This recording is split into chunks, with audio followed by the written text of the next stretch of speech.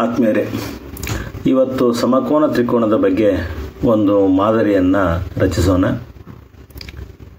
ಸಮಕೋನ ತ್ರಿಕೋನ ಅಥವಾ ಒಂದು ಸಮಭಾವ ತ್ರಿಕೋನ ಅಂತ ಹೇಳ್ತೀವಿ ನಾವು. ಅದನ್ನು ಇಂಗ್ಲೀಷ್ನಲ್ಲಿ ಇಕ್ವಿಲ್ಯಾಟ್ರಲ್ ಟ್ರ್ಯಾಂಗಲ್ ಅಂತ ಕೂಡ ಕರೆಯುವುದುಂಟು ಜ್ಯಾಮಿತಿಯಲ್ಲಿ ಸಮಬಾಹು ತ್ರಿಕೋನವು ಒಂದು ತ್ರಿಕೋನವಾಗಿದ್ದು, ಇದರಲ್ಲಿ ಎಲ್ಲ ಮೂರು ಬದಿಗಳು ಒಂದೇ ಉದ್ದವನ್ನು ಹೊಂದಿರುತ್ತದೆ. ಪರಿಚಿತ ಯುಗ್ಲಿಟ್ ರೇಖಾಗಣಿತದಲ್ಲಿ ಸಮಬಾಹು ತ್ರಿಕೋನವು ಸಮಕೋನವಾಗಿರುತ್ತದೆ. ಅಂದರೆ ಎಲ್ಲ ಮೂರು ಆಂತರಿಕ ಕೋನಗಳು ಸಹ ಪರಸ್ಪರ ಸಮಾನವಾಗಿರುತ್ತವೆ ಮತ್ತು ಪ್ರತಿಯೊಂದು ಕೋನವು ಅರವತ್ತು ಡಿಗ್ರಿ ಆಗಿರುತ್ತದೆ. ಇದು ಸಮಾನ ಬಹುಭುಜಾಕೃತಿಯಾಗಿದೆ. ಆದ್ದರಿಂದ ಇದನ್ನು ಸಾಮಾನ್ಯವಾಗಿ ತ್ರಿಕೋನ ಎಂದು ಕರೆಯಲಾಗುತ್ತದೆ. ಇದನ್ನೇ ನಾವು ಇಂಗ್ಲೀಷ್ನಲ್ಲಿ ಏನು ಹೇಳ್ತೀವಿ ಅಂದ್ರೆ In a geometry, an equilateral triangle is a triangle that has all its sides are equal in length. Since the three sides are equal, therefore the three angles opposite to equal sides are equal in measurement. Therefore, it is also called an equilateral triangle, where each angle measures 60 degree. ಆತ್ಮೀಯರೇ, ಮೊದಲಿಗೆ ಒಂದು ಚೌಕಾಕಾರದ ಪೇಪರನ್ನು ತಗೊಳ್ಳಿ.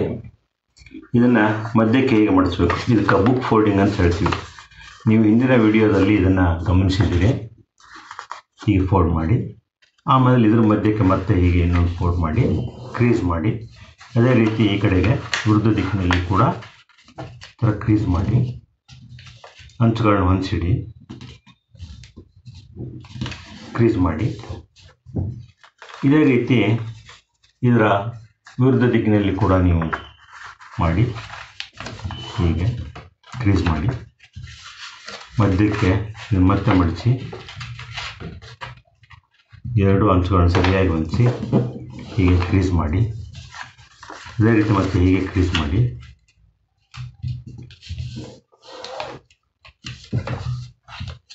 ಇಲ್ಲಿ ನಿಮಗೆ ಹದಿನಾರು ಸಣ್ಣ ಸ್ಕ್ವೇರ್ಗಳು ಬರುತ್ತೆ.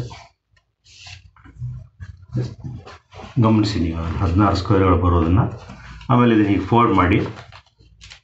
ಇಲ್ಲಿದೆ ನೋಡಿ ಇದನ್ನು, ಈ ಕಾರ್ನರ್ನ ಲಾಸ್ಟ್ನ ಇದನ್ನ ಅರ್ಧಕ್ಕೆ ಮಾಡಿ ಹೀಗೆ, ಅಂಚುಗಳನ್ನ ಹೊಂದಿಸಿ ಅರ್ಧಕ್ಕೆ ಹೀಗೆ ಫೋಲ್ಡ್ ಮಾಡಿ.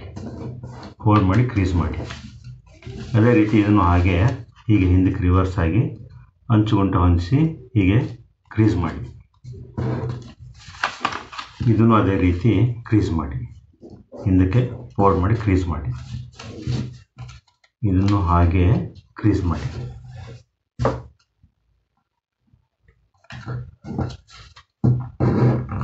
ಈ ಥರ ಆಗುತ್ತೆ ನೀವು. ನೋಡಿ, ಇದು ಓಪನ್ ಮಾಡ್ತೀನಿ. ಹೀಗೆ ಆಗುತ್ತೆ ಇದು.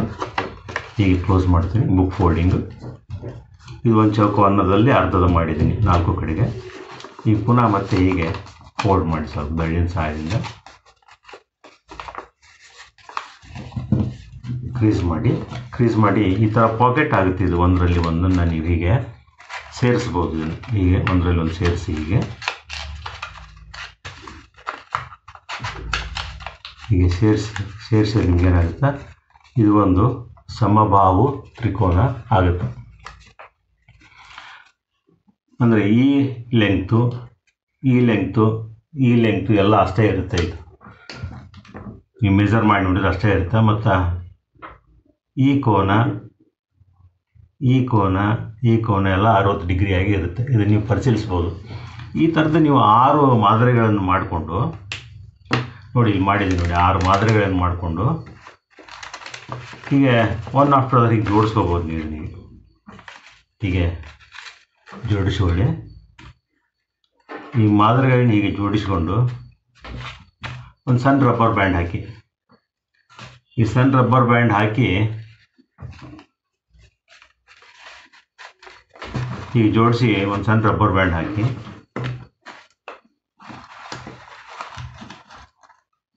ನಿಮಗೆ ಒಂದು ಪೆನ್ ಸ್ಟ್ಯಾಂಡ್ ಥರ ಆಗುತ್ತೆ.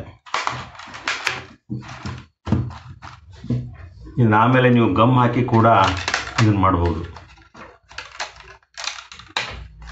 ಈಗ ಒಂದಕ್ಕೊಂದು ಮಧ್ಯದಲ್ಲಿ ಗಮ್ ಹಾಕ್ಬೋದು.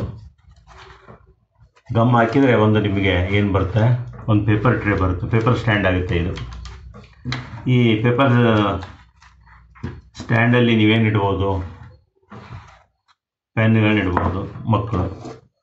ಪೆನ್ನು, ಪೆನ್ಸಿಲ್ಲು, ಈ ಥರದ ಸ್ಕೇಲು ಜಾಮೆಟ್ರಿ ಥಿಂಗ್ಸ್ನ ಹೀಗೆ ಅವ್ರು ಇಟ್ಕೋಬೋದು. ಇದು ಸ್ಥಳೀಯವಾಗಿ ಸಿಗುವಂಥ ಪೇಪರು ಮತ್ತು ಪರಿಸರ ಪ್ರೇಮಿ ಪೆನ್ ಸ್ಟ್ಯಾಂಡ್ ಆಗಿದ್ದರಿಂದ ಇದನ್ನು ನೀವು ಮಕ್ಕಳಿಗೆ ಮಾಡಿಸ್ರಿ. ಮಕ್ಕಳು ಕೂಡ ತುಂಬ ಕುತೂಹಲದಿಂದ ಮಾಡ್ತಾರೆ ಇದನ್ನು. ಬಣ್ಣ ಬಣ್ಣದ ಕಾಗದದಲ್ಲಿ ಯೂಸ್ ಮಾಡಿ. ಬಣ್ಣದಿಲ್ಲ ಅಂದರೆ ಬಿಳಿ ಕಾಗದದಲ್ಲಿ ಮಾಡಿ, ಏನು ತೊಂದರೆ ಇಲ್ಲ. ನೋಡಿ, ಈ ಜಾಗ ಇದೆಯಲ್ಲ ಈ ಜಾಗದಲ್ಲಿ ನಿಮ್ಗೆ ಬೇಕಾದ್ರೆ ಯಾರ್ದಾದ್ರೂ ಫೋಟೋ ಹಾಕ್ಕೊಳ್ಳಿ ಅದ್ರ ಫೋಟೋ ಇನ್ಸರ್ಟ್ ಮಾಡ್ಕೋಬೋದು ಇಲ್ಲಿ. ನೋಡಿ, ಈ ಜಾಗದಲ್ಲಿ ಈ ಫೋಟೋ ಇಟ್ಟು ಈಗ ಗೊತ್ತಿದ್ರೆ ಅದು ಫೋಟೋ ಒಳಗೆ ಲಾಕ್ ಆಗುತ್ತೆ. ಆಮೇಲೆ ಬೇಕಾದ್ರೆ ಸ್ವಲ್ಪ ಗಮ್ ಹಾಕ್ಕೊಳ್ಳಿ ಇದನ್ನ ಇಟ್ಕೊಂಡು ನೀವು ಆ ಥರನೂ ಯೂಸ್ ಮಾಡ್ಬೋದು. ತುಂಬ ಚೆನ್ನಾಗಿದೆ ಇದು. ಇದನ್ನ ಮಕ್ಕಳಿಗೆ ಒಂದು ಹೋಮ್ವರ್ಕ್ ಥರನೂ ಕೊಡ್ಬೋದು, ಅಥವಾ ಅವ್ರ ಬಿಡುವಿನ ವೇಳೆಯಲ್ಲಿ ಇದನ್ನು ಮಾಡ್ಬೋದು. ಇದನ್ನು ಮಾಡಿ ಈ ಮಾದರಿಯನ್ನು ನೀವು ಮಾಡಿಸಿ ಇದು ಪೆನ್ ಸ್ಟ್ಯಾಂಡ್ ಥರ ಯೂಸ್ ಆಗುತ್ತೆ. ಮತ್ತು ಪರಿಸರ ಸ್ನೇಹಿ ವಸ್ತು ಆದ್ದರಿಂದ ಇದನ್ನು ಎಲ್ಲರೂ ಬಳಸ್ಕೋಬೋದು, ಮಾಡ್ಬೋದು. ಮತ್ತು ಮಕ್ಕಳು ಕೂಡ ತುಂಬ ಆಸೆಯಿಂದ ಇದನ್ನು ಮಾಡ್ತಾರೆ. ಇದನ್ನು ಬಿಳಿ ಕಾಗದದಲ್ಲಿ ಮಾಡ್ಬೋದು. ಅಥವಾ ಅಡ್ವರ್ಟೈಸ್ಮೆಂಟ್ ಪೇಪರ್ ಬಂದಿರುತ್ತೆ ನೋಡಿ. ಒಂದು ಕಡೆಗೆ ಪ್ರಿಂಟೆಡ್ ಇರುತ್ತೆ, ಇನ್ನೊಂದು ಕಡೆ ವೈಟ್ ಇರುತ್ತೆ. ಆ ಪೇಪರ್ ಕೂಡ ನೀವು ಬಳಸ್ಕೊಂಡು ಮಾಡ್ಬೋದು. ನಾನು ಬಣ್ಣದ ಕಾಗದ ನಿಮ್ಗೆ ಚೆಂದ ಕಾಣಲಿ. ನಿಮಗೆ ಆಕರ್ಷಣೆ ಆಗಲಿ ಅಂತ ನಾನು ಬಣ್ಣದ ಕಾಗದ ಯೂಸ್ ಮಾಡಿದ್ದೀನಿ ನೀವು ಬಿಳಿ ಕಾಗದದಲ್ಲಿ ಕೂಡ ಮಾಡ್ಬೋದು. ಇಲ್ಲಿ ರಬ್ಬರ್ ಬ್ಯಾಂಡ್ ಹಾಕಿದ್ದೀನಿ ನಾನು ಸುಮ್ಮನೆ ಇಲ್ಲೇ. ನೀವು ಗಮ್ ಹಾಕಿ ಕೂಡಿಸ್ಕೋಬೋದು ಇದನ್ನು. ಮತ್ತೆ ಮುಂದಿನ ವಾರ ಸಿಗೋಣ ಇನ್ನೊಂದು ವಿಡಿಯೋದಲ್ಲಿ ಓಕೆ